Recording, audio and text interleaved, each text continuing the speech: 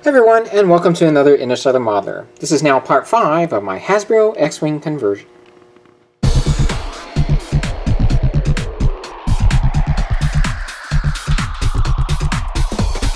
Alright guys, well before we start here, I just wanted to give you a brief update. Uh, I didn't do much more than what you saw in the last video. I did use the Tamiya weathering kit to add some brown accents that you see here and along this aft section.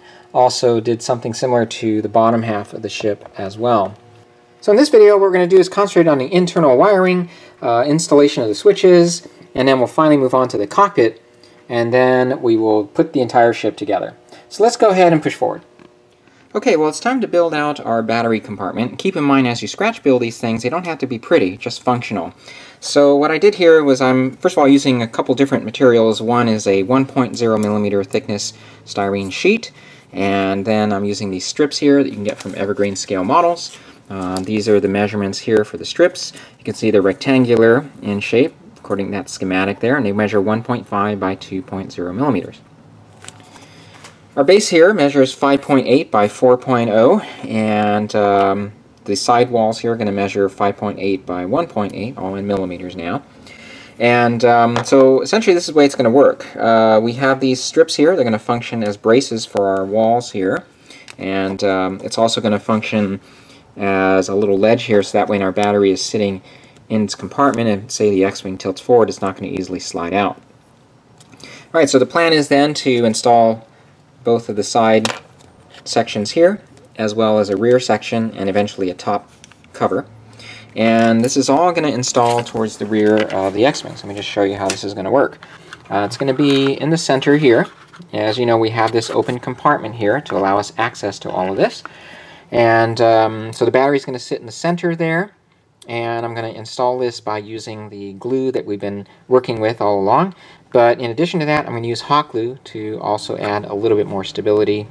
And um, our compartment, as you see, is open right now, but I'm going to create a panel that's going to be removable so that we can uh, have access to the battery. As for the switches, I think I've decided to go ahead and drill holes into the sides here because this will be hidden by this engine piece. And uh, we're going to have two switches, one to um, turn on the anterior lights, the other one the engines, and that way you can light them individually. Alright, so let's go ahead and put this together.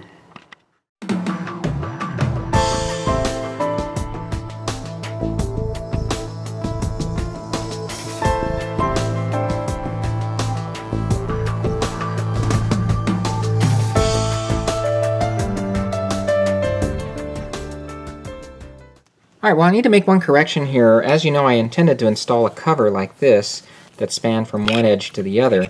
However, you can't do that because when you install your battery or when you're trying to slide in a battery and it's going to come in at this angle, um, it's going to hit the cover. Alright, so you have to leave this front area open. So there's a couple things you can do. You can just cut the length of the cover so that it just spans the back. But what I decided to do was just to install this um, strip right here that's going to go along the back edge of the battery and uh, that's going to give us some reassurance that the battery won't easily slide out of its compartment there if the X-Wing were to tip. Um, the other thing to bear in mind is I did make this a snug fit, so as you slide in the battery, uh, the fact that it's a little tight there keeps the battery in place as well. But this again will just provide us some reassurance. Alright, well since I last recorded, I did push ahead and do a few more things here. So let me just start first of all with the compartment cover. This is going to allow us access now to the battery. So to make this, I just used 1.0 millimeter thickness styrene. I made a partial cut and that allowed me to make the piece bendable so we can have the same contour as this angled area here. Now, uh, let me go ahead and lift this away.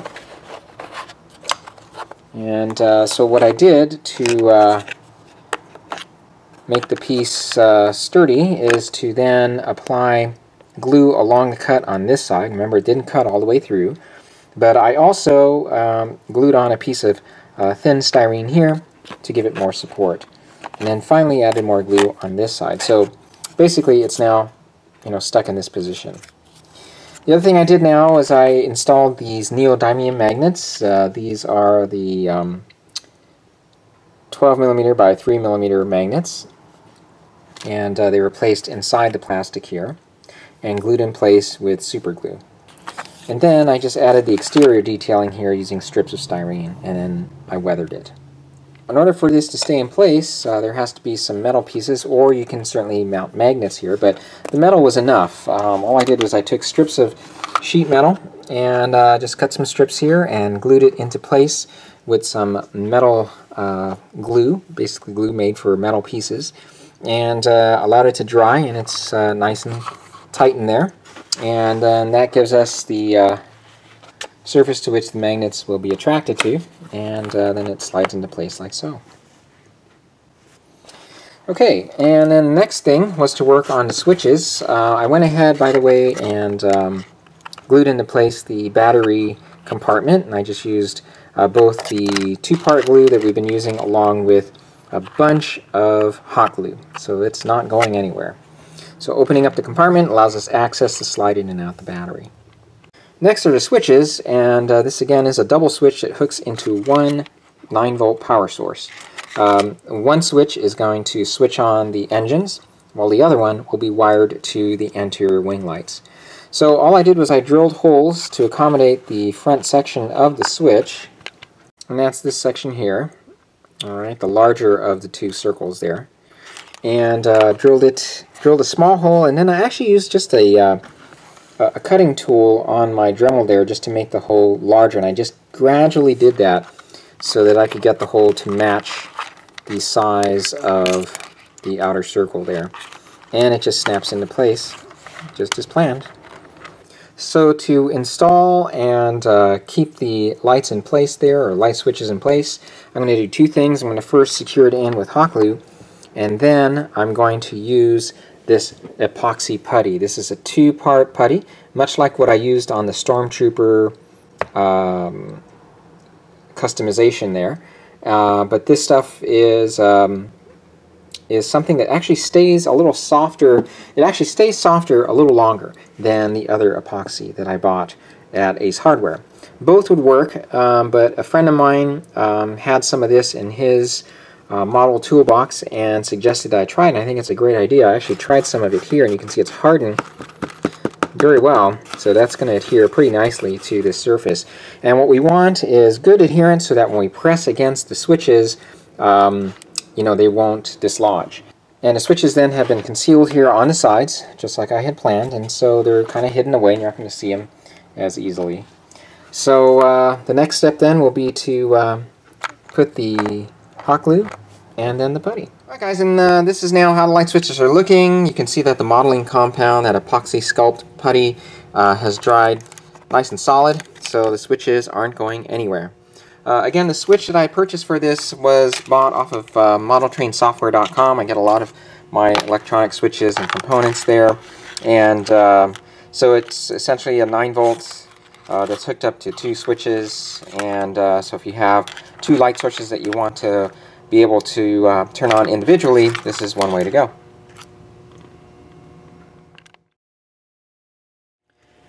Okay guys, well I'm going to go ahead and give this a try. I did say I was not going to create an interior to the cockpit, but it's so tempting I thought I would just see what happens here. So uh, much like I did with the X-Wing uh, panels for the exterior, I have created some templates now for the interior. This represents the top side of the instrument panel. And this is where the gauges would be, facing the pilot. And then this is the back side along which the seat would rest. And then this upper, or at least this represents the upper section here uh, towards that back window. Uh, as for the seat, I found this on eBay. This is a 1 118 scale seat that goes to some G.I. Joe toy. The reason I chose that is because we're using approximately about a 3 inch figure and uh, that an action figure of that size is about 1 118 scale. So that's what I got I got this pretty cheap off of eBay. And um, when I placed it inside the cockpit it seems to be the appropriate size. Okay guys well this is how it's coming along. I think this may work after all. This is the back piece here now and uh, you can see I've glued them together. Um, added some additional styrene here along the back so that uh, it'll be an adhesion point for this piece so we can attach it to the back wall of the, or the back section of the cockpit. Also added some surface detailing here using some odds and ends. I never throw anything out. Um, I just uh, keep in a parts drawer, so I just pull some stuff out, and uh, along with my styrene rods and strips here, I've been able to add this detailing. Uh, this front section was cut out here to accommodate uh, this protrusion here on the back side of our seat. We have another one here on the front, so I had to cut this out to accommodate that as well. And what I'm in the process of doing now is I've masked off this area here so that we can create this gray paneling here. I'm going to go ahead and airbrush that. As I showed you earlier, I had this masked off to be painted, and so I went ahead and used a darker gray to paint this design here. And uh, that's supposed to duplicate uh, what you see in the cockpit here. Okay, and then I used some uh, pinstriping I had. I have some light gray pinstripes and some black ones to create the um, detail that you see here. So what's next is I want to go ahead and detail the instrumentation panel and um, I decided to try this out. So I actually have this decal sheet from the Flying Sub. This is a, the Mobius uh, larger scale Flying Sub and uh, I never ended up using, I used only some of the decals that came with the sheet. I did not end up using the ones for the instrumentation panels. And um, so I just kept them on hand. I never throw anything away, as I've said it. And um, so what I decided to do is to scan this. Uh, and instead of using this color, I decided to make them black and white. Um, and it just so happens this actually will fit right here.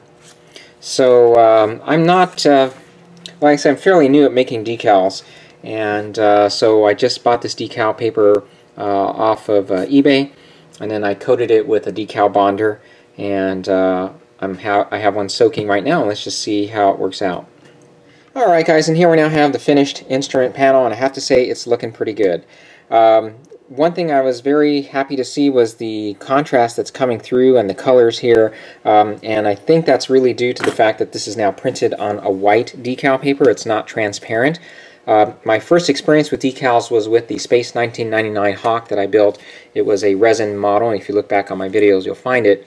And when I printed those they looked great on paper but as soon as I put them onto the model uh, they looked a bit faded uh, but uh, someone suggested just printing them on white paper and just cutting as close to the decal as possible and uh, this was the result here this time. The uh, front section I added a few decals as well so um, I think overall I'm very very pleased with the way this is looking here. Now some of you might ask if I could sell these decals and you know I don't feel right about that. Um, I did not design these decals to begin with. Uh, again this was the um, Voyage to the Bottom of the Sea Flying Sub decal, and I did get these from StarshipModeler.com, so you might want to check, and uh, there's also this website here, uh, tsdsinc.com, and um, looks like they uh, are the ones who uh, made the decal sheets. so You might want to go online and check that out. I haven't had a chance to do that. Um, so, uh, we're going to go ahead and let this dry. I'll apply a uh, clear coat to seal them in. And uh, I wanted to show you the back side now. So this is going to go against the back window. Um, I added some shading here with some pastels. And uh, we are getting very close now to putting everything together. Alright guys, well it's now time to install the windows. So I'm going to go ahead and move forward with cutting out the clear styrene that we need for that. And uh, I'm going to glue them in place, let them dry before we start uh, moving further with the cockpit interior. And what you see here now is a template for the front window, so I'm just aligning it under our clear piece of styrene here. We're going to go ahead and cut this out.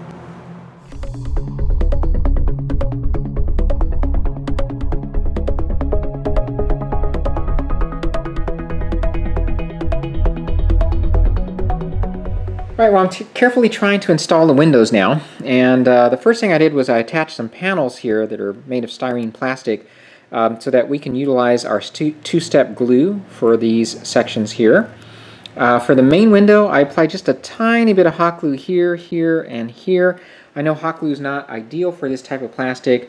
Uh, however, I just needed a small bit of adherence uh, in these sections because um, I'm depending on the side windows as well as the uh, instrument panel, which we're going to install here, to keep the main window in place.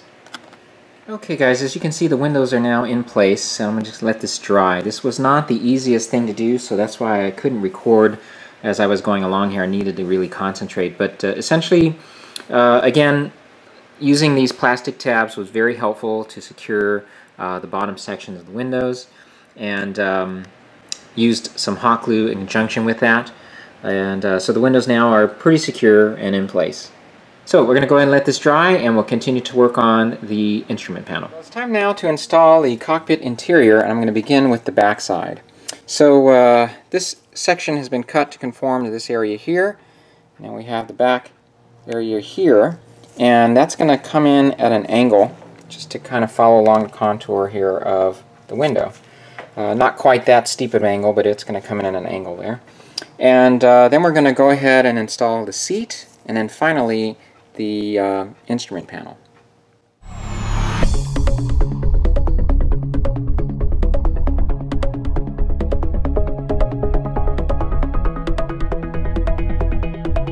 Okay, I've applied now our two-step glue, but I'm going to go ahead and reinforce it with hot glue all along the inside edge. Now we're gluing the chair in place, and I'm just using hot glue for that. So far it's coming along pretty well. I'm just going to give this a little bit of time to dry. Alright guys, here we now have the front instrument panel of the cockpit as you see in this picture. And this is ours here. So I have the template cut so that these areas will clear these joints. Alright, so the way it's supposed to work is we're going to slide this in. Like that. And what's nice about this plastic, it has a little bit of tension to it. It wants to push out this way, which works for us here. And uh, then I have to push on these two corners a little bit so that it uh, is a little bit of at an angle, right? Because we want to have a little of that instrument panel peek through the windows there. And then we're going to apply adhesive here, here, and here.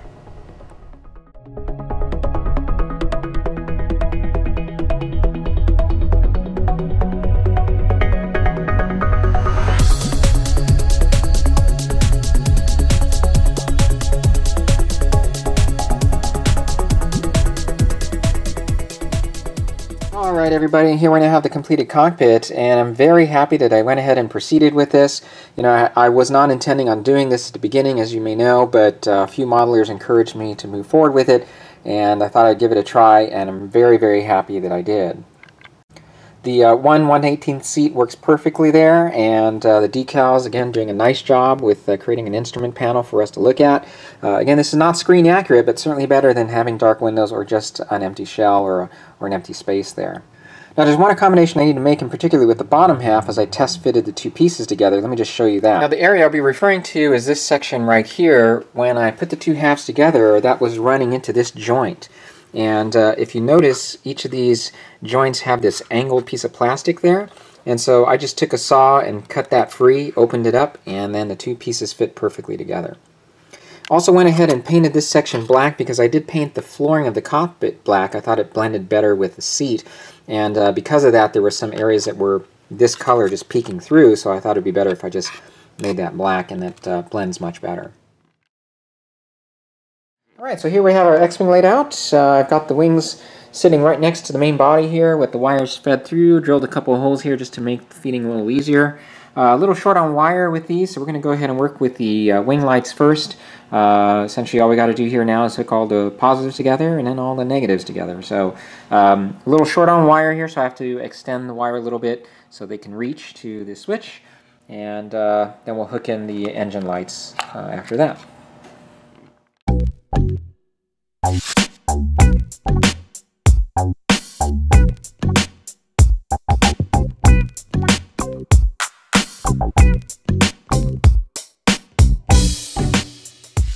So now we have the interior lights ready to go. Next are the engine lights.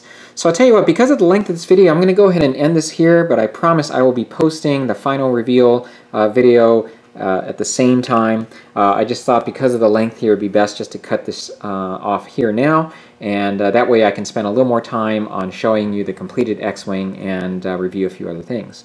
So if you have any questions about any of this that took place in this video, feel free, of course, to contact me here or at interstellarmodeler at gmail.com. I'll see you then in the final video, part 6. Thanks again for watching. Take care.